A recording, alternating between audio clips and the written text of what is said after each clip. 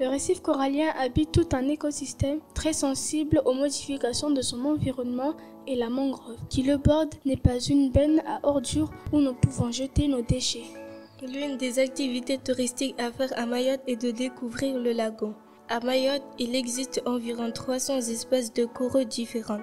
Le corail est un organisme marin à la fois animal, végétal et minéral. Mayotte possède énormément de corail, une colonie entière qui a fini par former une barrière qui s'étend sur 180 km de long.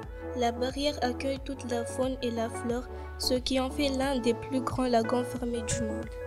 Parmi ses nombreux rôles, le corail est un véritable abri contre les prédateurs. C'est aussi une zone de reproduction et de nurserie pour de nombreuses espèces.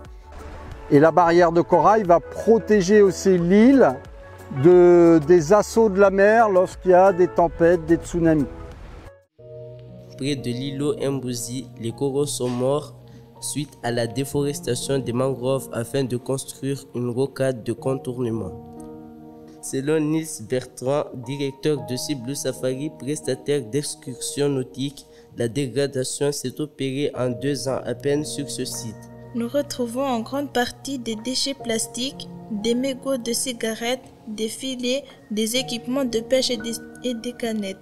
Le rejet des eaux usées porte des maladies aux coraux et les abîme. D'après le parc naturel marin, les récifs coralliens sont menacés et avec eux les îles qu'ils protègent de l'érosion et de nombreux micro-organismes qui l'hébergent. Les modèles les plus pessimistes envisagent même une disparition du corail d'ici la fin du siècle. L'activité maritime a un impact sur les coraux et ses habitants. Si elle est trop importante et mal dirigée, elle peut engendrer une forte dégradation comme les bateaux en jetant l'encre sur les récifs ou encore la pêche au filet qui peut arracher les coraux. Pour sauvegarder les coraux, des solutions ont été mises en œuvre.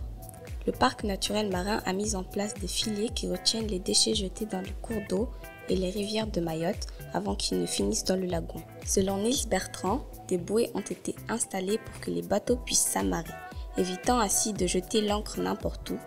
Des zones protégées comme la passe en S ont été délimitées. La pêche, le ramassage de coquillages et la destruction ou la récupération de coraux sont interdits à l'intérieur du périmètre. De nouveau, la vie y prolifère. Il y a des espaces qui sont déclarés réserves, où tu n'as pas le droit de pêcher, tu n'as pas le droit d'ancrer.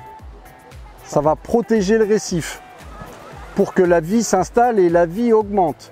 La sensibilisation des publics est aussi essentielle pour la protection des coraux.